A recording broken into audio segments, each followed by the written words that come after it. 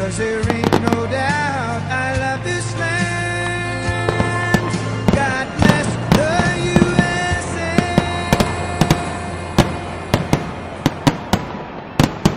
Oh, brought to you courtesy of the red, white, and blue. With the stars and stripes